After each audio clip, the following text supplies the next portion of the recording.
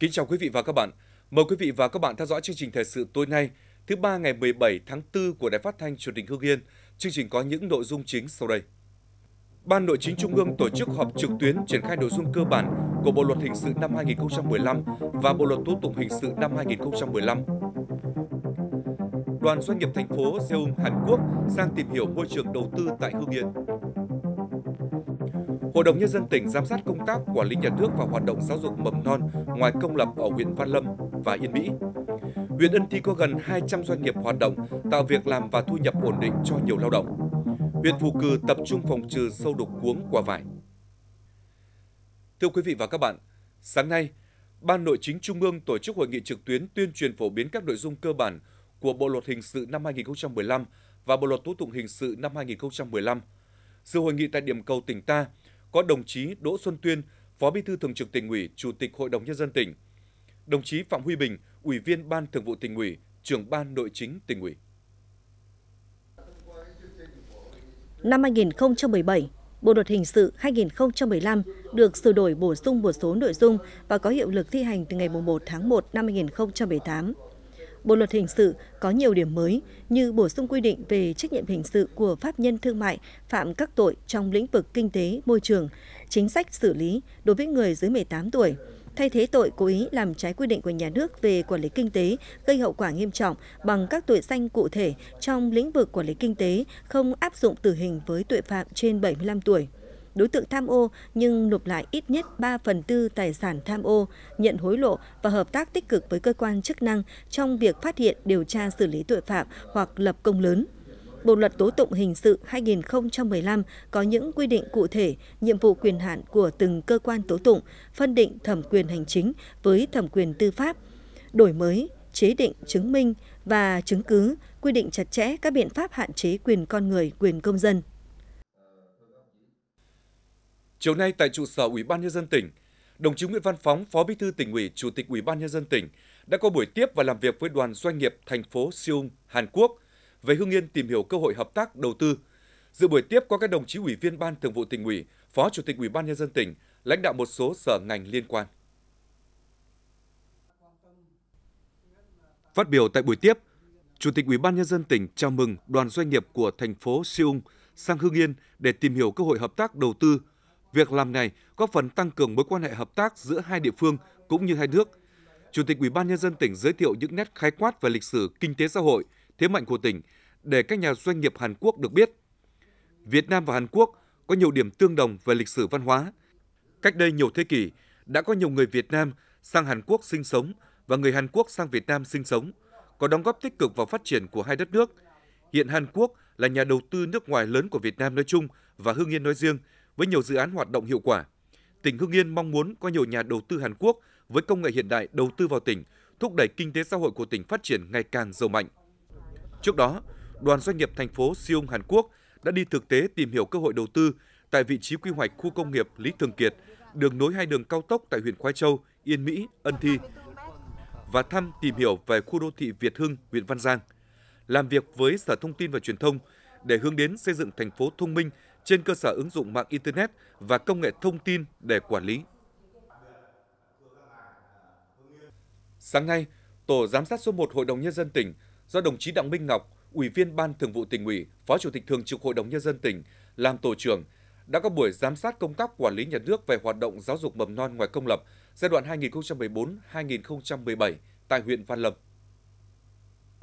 Đến cuối năm 2017, huyện Văn Lâm có hai trường mầm non tư thục và 17 cơ sở có nhóm trẻ lớp mẫu giáo tư thục với 1.257 trẻ và 152 cán bộ giáo viên, nhân viên và chủ cơ sở. Chất lượng nuôi dưỡng, chăm sóc giáo dục và việc đảm bảo an toàn cho trẻ theo đúng quy định, không xảy ra tai nạn thương tích, cơ sở vật chất tài chính, tài sản đảm bảo.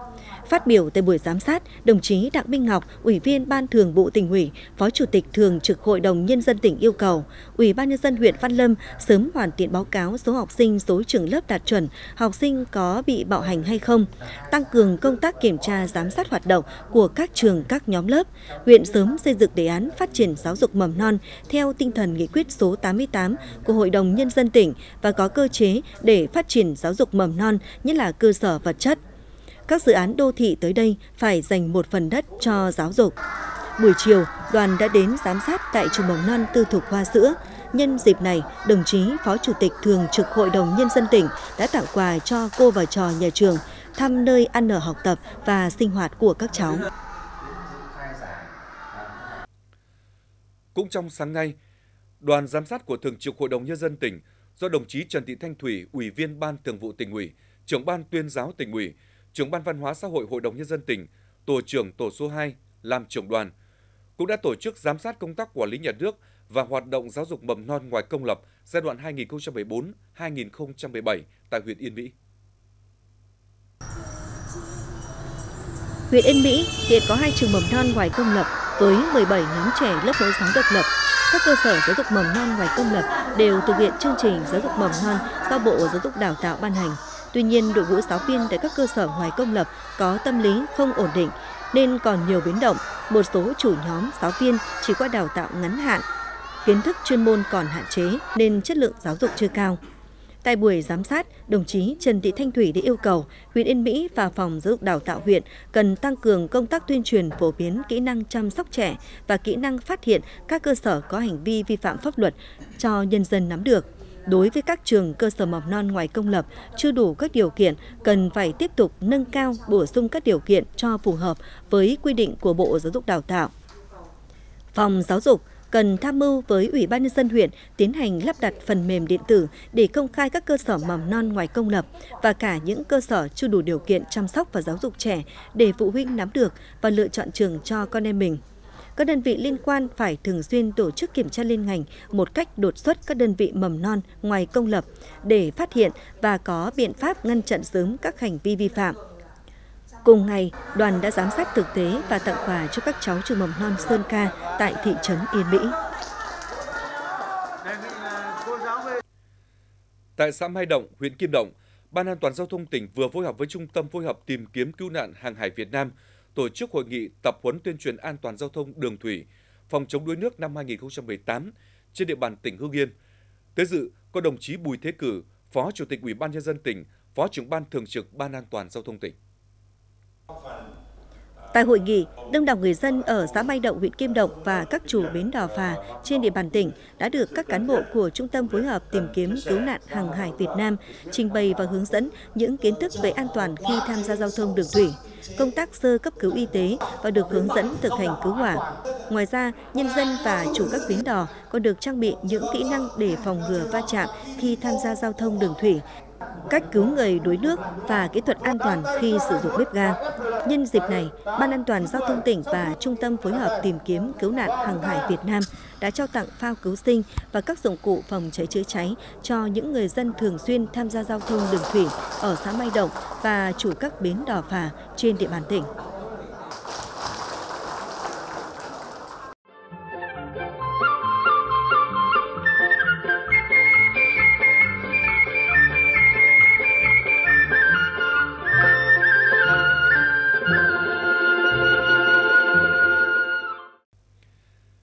Quý vị và các bạn, nhân kỷ niệm 20 năm ngày mất của Tổng Bí thư Nguyễn Văn Linh,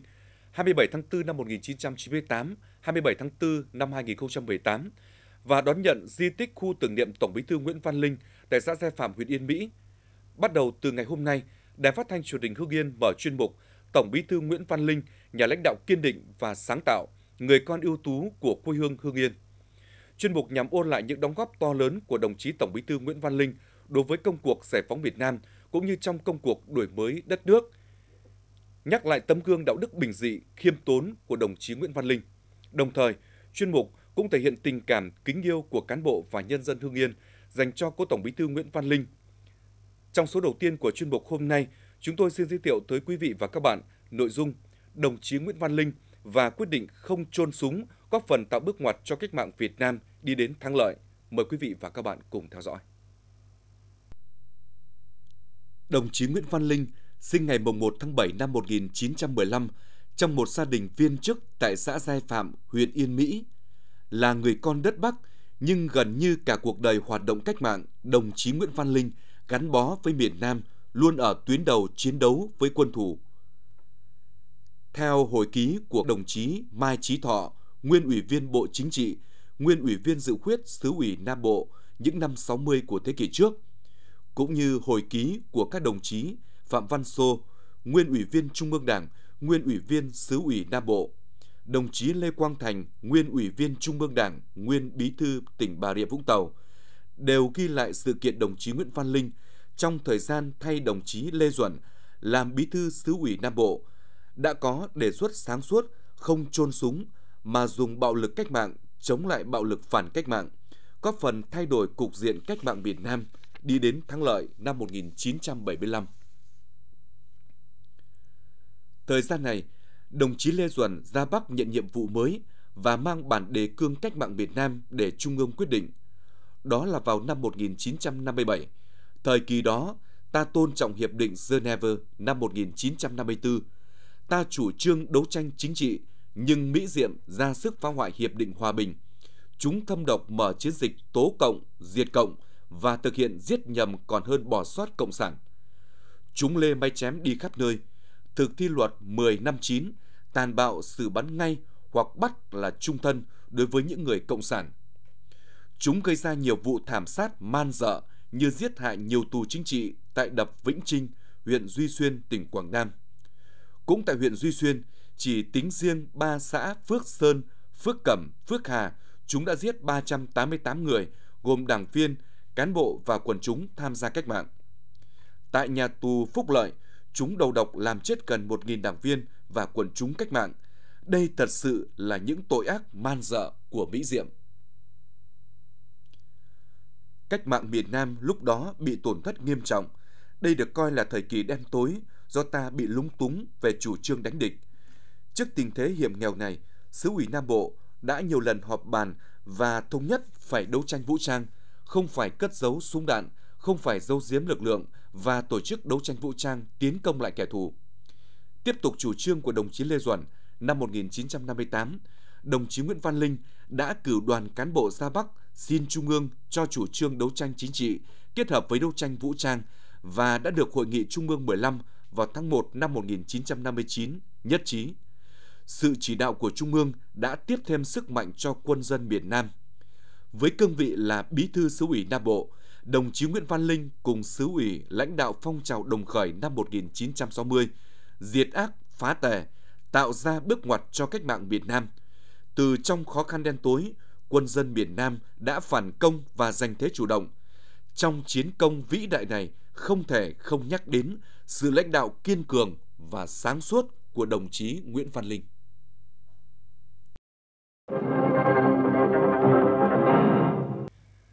Mời quý vị và các bạn theo dõi tiếp chương trình thời sự. Hiện nay, trên địa bàn huyện Ân Thi có gần 200 doanh nghiệp hoạt động, tạo việc làm và thu nhập ổn định cho nhiều lao động địa phương và các vùng lân cận. Các doanh nghiệp hoạt động chủ yếu trong lĩnh vực may mặc, thức ăn chăn nuôi, thực phẩm xây dựng cơ khí, mỗi năm tạo việc làm mới cho khoảng từ 2.500 đến 3.000 lao động, với thu nhập ổn định từ 4 triệu đến 8 triệu đồng một người trên tháng. Thông qua tổ chức công đoàn, quyền và lợi ích hợp pháp chính đáng, người lao động luôn được đảm bảo. Hướng tới kỷ niệm tháng công nhân, hiện nay trên địa bàn đã có khoảng 20 doanh nghiệp tổ chức thăm hỏi tặng quà cho công nhân có hoàn cảnh khó khăn, bị tai nạn lao động và đoàn viên công đoàn tiêu biểu trong sản xuất. Điển hình như công ty trách nhiệm hữu hạn may mặc dệt kim Smart đóng trên địa bàn xã Phù Ủng, công ty trách nhiệm hữu hạn Format Việt Nam tại thị trấn Ân Thi, công ty trách nhiệm hữu hạn Trường Phúc Hưng Yên đóng trên địa bàn xã Quang Bình. Ủy ban nhân dân xã Liêu Xá, huyện Yên Mỹ vừa tổ chức lễ đón bằng công nhận nông thôn mới năm 2017. 5 năm qua, xã Liêu Xá đã huy động gần 140 tỷ đồng để xây dựng nông thôn mới, trong đó nhân dân đóng góp hơn 122 tỷ đồng, toàn xã đã nhựa hóa, cứng hóa được hơn 15 km đường trục xã, liên xã, đường ra đồng. Trên địa bàn xã có 16 công trình thủy lợi phục vụ tưới tiêu, gần 2 km kênh mương được cứng hóa, 100% số dân được sử dụng nước sạch, nước hợp vệ sinh theo quy định công tác an ninh chính trị, an ninh nông thôn luôn được giữ vững và ổn định, thu nhập bình quân đầu người đạt trên 38 triệu đồng một năm. Đến cuối năm 2017, xã Lưu Xá đã đạt 19 trên 19 tiêu chí về xây dựng nông thôn mới. Trong thời gian tới, xã tiếp tục nâng cao chất lượng các tiêu chí đã đạt theo hướng bền vững, tập trung phát triển sản xuất, đẩy mạnh hợp tác, liên doanh liên kết trong sản xuất chuỗi giá trị sản phẩm nhằm nâng cao đời sống và thu nhập cho người dân. Chiều ngày 16 tháng 4, Hội Liên hiệp Phụ nữ tỉnh tổ chức hội nghị triển khai đề án 938 của Thủ tướng Chính phủ về tuyên truyền, giáo dục vận động hỗ trợ phụ nữ tham gia giải quyết một số vấn đề xã hội liên quan đến phụ nữ giai đoạn 2017-2027. Đề án được triển khai thực hiện nhằm đẩy mạnh các hoạt động như nâng cao chất lượng truyền thông giáo dục, vận động hỗ trợ phụ nữ, nâng cao nhận thức kiến thức kỹ năng về các nội dung thuộc phạm vi đề án, chuyển đổi hành vi thông qua các mô hình điển hình, phát huy tính chủ động của phụ nữ trong giải quyết các vấn đề xã hội có liên quan, nghiên cứu đề xuất chính sách. Mục tiêu của đề án, 80% cán bộ chuyên trách tham gia triển khai đề án, tuyên truyền giáo dục hỗ trợ được 55.000 đối tượng phụ nữ thiếu kiến thức kỹ năng, có nguy cơ hoặc có vi phạm đạo đức pháp luật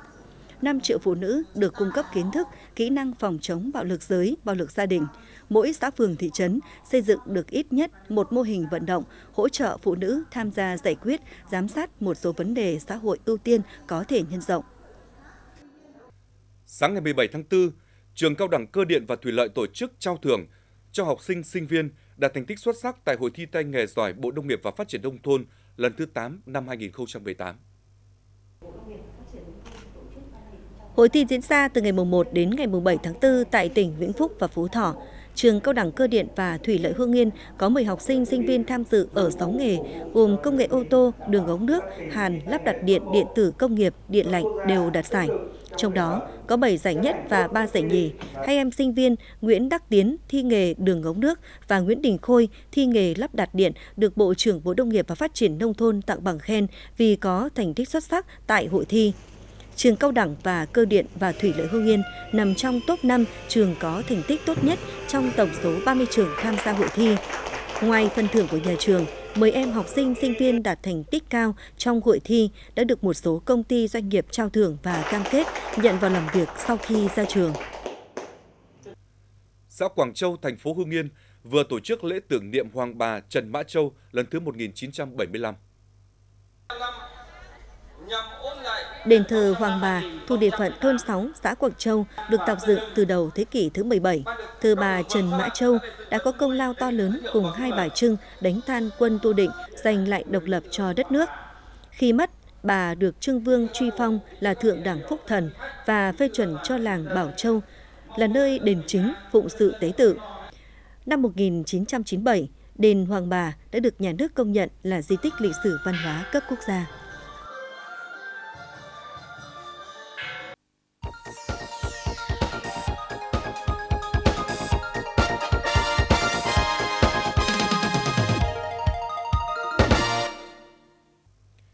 Quý vị và các bạn, thực hiện kế hoạch tiêm phòng bảo vệ đàn vật nuôi vụ xuân hè, Chi cục Thú y tỉnh đã cấp phát hơn 370.000 liều vaccine phòng hai bệnh đỏ của lợn và tu huyết trùng châu bò. Trong đó, tụ huyết trùng và dịch tả của lợn trên 7.000 liều, tụ huyết trùng châu bò trên 20.000 liều. Đối tượng được tiêm phòng bệnh là tất cả châu bò trong tiện tiêm phòng. Người chăn nuôi được hỗ trợ 100% chi phí mua vaccine. So với một số vật nuôi khác, thì nuôi gà mang lại hiệu quả tương đối cao, ổn định và ít rủi ro. Vài năm gần đây, đàn gà nuôi của huyện Văn Giang phát triển khá mạnh. Hiện nay, đàn gà nuôi của huyện Văn Giang có trên 20.000 con, tập trung chủ yếu ở xã Nghĩa Trụ. Hầu hết các hộ đều nuôi theo hướng tập trung với hai phương thức là gà thương phẩm và gà trứng. Hộ nuôi ít nhất là khoảng 1.000 con. Các hộ chăn nuôi cho biết, thông thường gà thịt được nuôi từ khoảng 5 đến 6 tháng tuổi, gà đạt trọng lượng từ 2,5 đến 3 kg sẽ tiến hành xuất bán gà trống. Số gà mái được giữ lại cho đẻ trứng đến cuối năm. Trung bình giá bán hiện nay là khoảng 95.000 đồng một kg trừ chi phí còn thu lãi 80 đến 100.000 đồng một con. Còn với gà đẻ trứng cho thu lãi cao hơn. Cơ bản các hộ đều nuôi theo phương thức gà sạch, thực hiện đầy đủ các giai đoạn tiêm phòng dịch bệnh, tự phối trộn thức ăn để giảm giá thành. Trong vụ xuân năm 2018, Trung tâm giống nông nghiệp tỉnh đã đưa vào khảo nghiệm trình diễn một số giống lúa mới có tiềm năng, năng suất và chất lượng. Các giống lúa được khảo nghiệm N26 Bắc Thơm số 9, Đài Thơm 8 và NB01 với diện tích khảo nghiệm 12,5 ha. Trong đó, giống Bắc Hương 9 là giống lúa có chất lượng cũng như năng suất đạt khá và khả năng chống chịu sâu bệnh cao, phẩm gạo ngon. Giống Đài Thơm 8 chống chịu sâu bệnh tốt, có thời gian sinh trưởng ngắn nhưng vẫn cho hạt gạo chất lượng cao. Ngoài ra, trung tâm đã khảo nghiệm cơ bản 18 giống, khảo nghiệm sản xuất 4 giống với diện tích khảo nghiệm 7 hectare thực hiện dự án chọn lọc duy trì giống gốc nếp thơm Hương Yên và phục trắng một số giống lúa chủ lực trên địa bàn tỉnh Hương Yên giai đoạn 2018-2020. Trung tâm giống nông nghiệp đã tổ chức duy trì và chọn lọc giống nếp thơm Hương Yên duy trì và chọn lọc các giống chủ lực, sản xuất giống nếp thơm hương yên siêu nguyên chủng nhằm góp phần đưa nhanh giống cây ăn quả chất lượng cao vào sản xuất đại trà trong nông hộ, xây dựng ngành trồng cây ăn quả tại Hương Yên ngày càng phát triển bền vững và hiệu quả. Trung tâm giống nông nghiệp đã triển khai sản xuất 20.000 gốc ghép nhãn và cây có múi dựa trên nguồn mắt ghép là những cây đầu dòng đã được bình tuyển nhằm cung cấp nguồn giống chất lượng cao cho các vùng sản xuất cây quả của địa phương. Sâu đục cuống quả vải là một trong những nguyên nhân chính gây giảm năng suất và giá thành, ảnh hưởng đến giá trị kinh tế khi thu hoạch. Để bảo vệ diện tích vải hiện tại, Trạm Bảo vệ Thực vật huyện Phù Cử đang tập trung các biện pháp hướng dẫn các hộ phòng trừ sâu bệnh, nhất là sâu đục cuống quả vải. Hiện toàn huyện có tổng số trên 4.400 ha gồm giống vải lai u và vải u trứng, tập trung tại các xã Tam Đa, Minh Tân, Minh Tiến, Tống Trân. Theo các hộ trồng vải cho biết, cây vải là cây ăn quả cho giá trị kinh tế cao, dễ trồng, dễ chăm sóc, tuy nhiên lại hay mắc sâu đục cuống quả nên bán thường mất giá, gây giảm hiệu quả kinh tế. Điển hình như gia đình ông Nguyễn Văn Quyết, thôn Phù Anh, xã Minh Tiến, có tổng 1,2 mẫu. Do chưa biết cách phòng trừ sâu đục cố quả, nên vụ vải năm 2016, gia đình đã bị thất thu. Để bắt đầu sang đến đầu năm là 2017 thì có được sự quan tâm mới là của là huyện, là trạm bảo vệ thực vật kết hợp với lại cái là cái dự án là cái như là về là để nghiên cứu là về cái con sâu đục quả là phải. Cái thứ nhất là tôi phát hiện được mà biết được những cái con sâu và biết được những con trưởng thành. Tôi thấy quả to là tôi thích và mà sợ nó chảy trộm nên là tôi mắc võng ở đây tôi nằm cả trưa cả tối tôi trông vườn theo khuyến cáo của trạm bảo vệ thực vật huyện, vụ vải năm 2018 này, cây vải ra hoa và đậu quả với tỷ lệ cao. Tuy nhiên, thời tiết âm u kèm độ ẩm không khí cao sẽ là điều kiện thuận lợi để các loại sâu bệnh tấn công và gây hại, nhất là bệnh đục cuống quả vải. Đây là nứa đầu tiên, nếu chúng ta xử lý tốt thì sẽ giảm giảm cái nguồn về sau này. Thì ngoài cái việc mà hướng dẫn nông dân tập trung phun trừ bằng các loại thuốc đặc hiệu, ví dụ như là Vitaco 40 VKG hay là Dupont Crenamathon 5SC à, rồi Parang 95SC à, SP thì chúng tôi cũng đã tập huấn các cái lớp tập huấn như là IPM hoặc là tập huấn cho nông dân ở các xã trồng vải trước cái thời điểm để sâu ra để nông dân có biện pháp phòng trừ kịp thời bà con cần lưu ý khi phun phòng trừ sâu bệnh, cần chọn sản phẩm thuốc trừ sâu có độ độc tố thấp, thời gian cách ly ngắn và đặc biệt phải an toàn với người sử dụng. Hy vọng rằng bằng việc áp dụng đúng khoa học kỹ thuật trong việc chăm sóc và phòng trừ sâu bệnh gây hại, cộng với kinh nghiệm chăm sóc của bà con, vụ vải năm 2018 này sẽ cho sản lượng và hiệu quả kinh tế cao.